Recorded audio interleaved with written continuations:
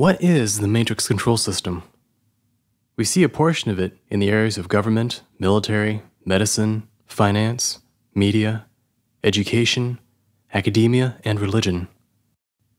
These institutions engineer our belief systems and way of life.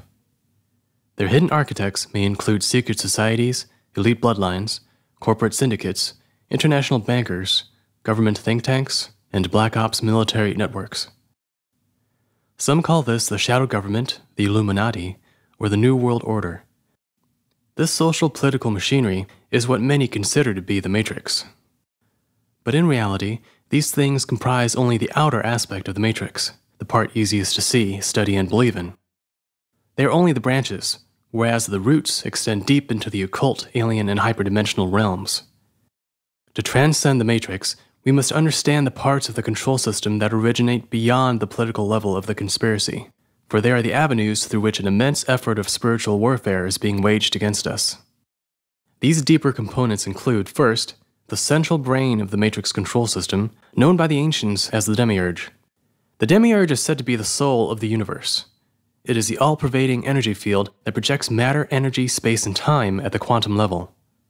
The Demiurge is a non physical artificial intelligence that, in its original and rightful form, fashioned physicality according to the divine will. Except it has since broken away from the divine framework and become a parasite upon its own corner of creation, which is the universe we now find ourselves in. The Demiurge has shaped this universe into a cold, deterministic machine a construct that perpetuates the illusion of linear time, that grinds onward without regard for the consciousness of its inhabitants, and that forces its subjects to live by the law of the jungle. These spiritually suffocating conditions are what allow the matrix control system to exist. They lead to a mode of living that favors serving self at the expense of others. What was supposed to have been a nurturing womb, a growth matrix for the evolution of consciousness through physical experience, has instead taken on overtones of a spiritual prison. The second component of the matrix includes all the non physical beings that have taken after the demiurge. In a realm of limited resources, there will be those who have developed competition, predation, and survival to a high art. Such beings are spiritually dead and cut off from the divine. They look to the living, such as ourselves, for their source of energy and entertainment.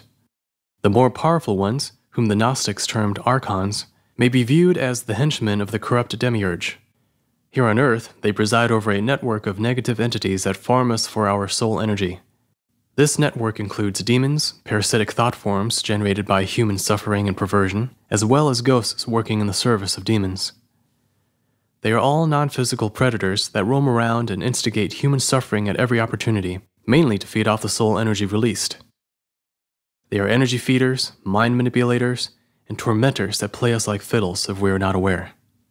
They can orchestrate misleading synchronicities, create accidents and freak illnesses, insert foreign thoughts and emotions into us during lowered states of consciousness, and they can induce schizoid symptoms in the vulnerable.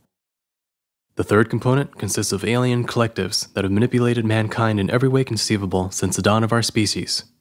They have shaped our genetics, history, beliefs, and want full control of our planetary destiny.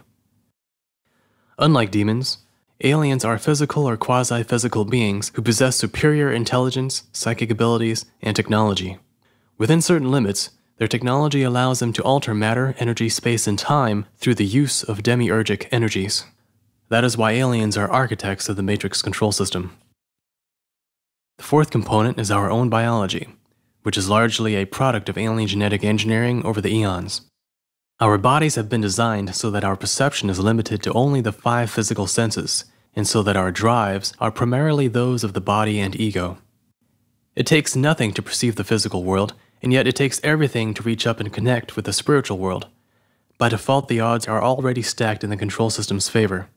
We perceive just enough to graze around the cattle farm, but not so much that we easily find a way out.